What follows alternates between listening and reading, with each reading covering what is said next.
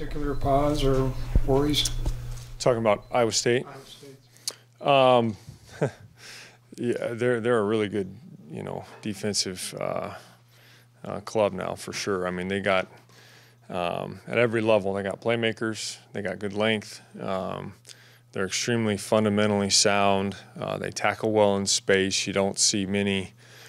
You know, uh, you don't see very many bleeding yard. Like you don't see a three-yard play get, you know, turn into an eight-yard play, right? I mean, they, they get them get them sawed down and and uh, you know, so again, fundamentally sound. They understand their scheme. Um, they know where they're weak and what you're going to try to do, and uh, you know, are, are you know are, are very well coached and prepared.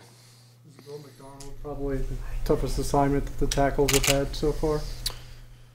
I mean, it's you know, I mean, we uh, have played a lot of good pass rushers, you know, and, and will in the future. He's um, he, he's definitely up there, you know. So it's going to be a great challenge, and and uh, excited for Duff and KT and, and all those guys up front to uh, you know to play their butts off.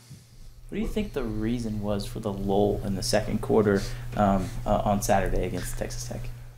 You know, it's it's not just one thing. You know, like, like I've like I've said before, it's uh, you know we, we knew they were going to come after us. We knew they were going to be an aggressive defense, and uh, you know we're kind of going back and forth and, and couldn't pop a few things that you know we were trying to get done. And uh, credit to them, they made some plays, and and uh, you know we, we knew we knew we were going to have to score touchdowns in the red zone you know, and, and ultimately did down the stretch to, you know, to make sure that we needed to.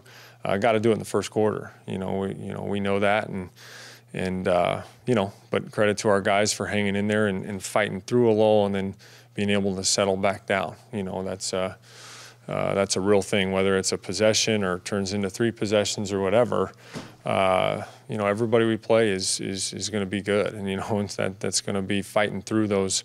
Uh, highs and lows is, is something you got to practice and, and get a feel for too. I think you're five or six games in now to being a play caller and offensive coordinator. Can you describe what areas you think you've learned the most through the five games here this year, including the bowl game last year?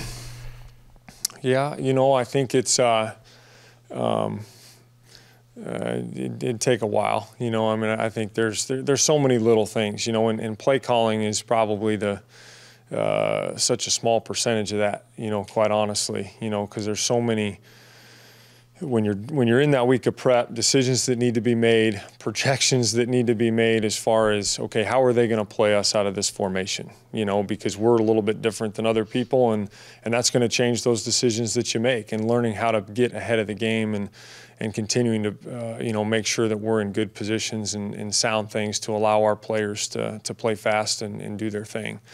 Um, you know, I think uh, we're doing some some really good things and, and and some different things that we haven't done, you know, uh, really, you know, for a long long time, if at least since I've been here. And I think trying to learn and, and how to how to handle that, right? You know, I think you know you look at that, you know, those few drives at the end of the first quarter. You know, we were we came out aggressive. You know, we were trying to be aggressive, um, learning how to when to keep your foot on the gas and, and keep going for the jugular, right? You know, and then then when to hey, let's just settle in and and and kind of weather, you know, weather the storm a little bit. You know, that's a uh, that's a gut feel thing that you know is all of us from a player standpoint, from a from a coach's standpoint, we're, we're getting a feel for and, and becoming uh, more of who we are. You know, through through these different experiences, uh, positive and negative. Why do you think you guys have had so much success, for the most part, on first drives in games this season? Um, you know, uh, I, I don't know. That's that, that's a good question. I think our players have made plays. You know, I mean, shoot, they've, uh, you know, uh, been, been, able to get on blocks and, and spring guys loose, and whether it's been Malik, Adrian, you know, whatever, or, or whoever it's been, have you know have, have really made good plays having to make projections. Is that also going to be associated with knowing that teams are going to try to take away Adrian's legs eventually? Oh, that's that's uh, absolutely. You know, and it's. Um, you know, thankfully, again, you know, it's it's not just him. You know, there's other pieces to it. There's other uh, facets to it, but it's again, it's it's being prepared for and having those answers ahead of time for, you know, as best we think and and project what they're going to do. Why has the bubble screen to Phillip been a good play for you guys lately?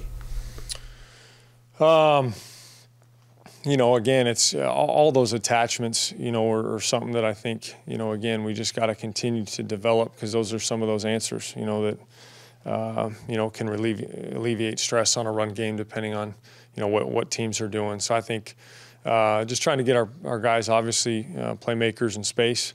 Um, those are hard blocks out there, you know. I mean, when it's getting stretched horizontally and, and guys are pursuing the football fast and, and uh, you know, so every, every facet of that. I'll tell you what, the bubble throw is one of the harder throws to make, you know, especially when you're a gun team, which, you know, most people are when you're doing that stuff, is catching that football, depending on how it's spinning, where you catch it, and then ripping it out there, you know, for 25 yards or whatever, 30 yards is, is uh, all those elements are, are important to have a good attachment game. You spoke a little earlier about how play calling is such a small part of what you do now as offensive coordinator. Can you explain what your role has become as you transition to the offensive coordinator on the recruiting side of things? On the recruiting side of things, you know, I, I think it's, uh, you know, as we become, uh, you know, and, and create a little bit more of a, uh, you know, of an identity is, is just making sure that, uh, you, you, know, guys are, are the correct uh, culture fit. You know, they have the right mentality. They're going to be the right, right kind of guys in that locker room that, uh, you know, we're going to care about one another, love football, love competing, uh, love working hard, all of those things, and then uh, you know have the right skill sets to fit kind of what we're doing and, and, what we're looking, you know, what we're trying to do offensively. So uh, that's definitely obviously more in uh, more on my mind, you know, than it has been in the past. Iowa State runs the three three five. You guys run the three three five. Is there any kind of advantage for either side there? Uh, we'll find out. You know, I, I think, uh, um, you know, even though they're the same structure, um, they're playing it differently. You know, and so I think picture-wise, from our from our guys' standpoint of knowing who guys are and where they are and, and different things, I think it's uh, obviously there's going to be familiarity on both sides. You know, I think, but again, I really think this is this game will come down to who's going to uh, be more fundamentally sound. Um, you know, and, and not make mistakes to hurt themselves, put them behind the sticks, turnovers, all those types of things that, you know, because again, there is a there is a high level of familiarity both ways. Is the offensive staff still trying to strike that right balance for the workload for Deuce Vaughn and how much to use DJ Giddens? You know, uh, I think it is. Uh, you know, I, I think it's our mindset again is is trying to just uh, get, get our best players in the best position as, as much as possible. Deuce has been very, very, very durable and, uh, you know, is, is wearing well. So uh, I don't think we're trying to temper it too much right, right now, but it's something we'll have to, have to monitor. From your perspective, Collin, just how good has Adrian been the last two weeks? Uh, I mean, he, he's, he, he's been fantastic. I mean, but again, I think it's, uh, it's not all that surprising, you know, uh, quite honestly. I think, again, it's just uh, the culmination of a lot of little things getting on the same page and, and being more comfortable in the flow, uh, you know, at, at uh, every level of it, you know, and that's myself, that's, uh, you know, each position room, and then ultimately finishing it, you know, on, on the field. But I thought, you know, his. Um, his preparation is fantastic. His his mindset, I think, his leadership is um, you know, he's he's taken, he's stepped up and really, and obviously the play on the field, you know, helps that. But I mean, he's he's taking uh, a commanding leadership presence and role in the locker room, uh, which is which is great.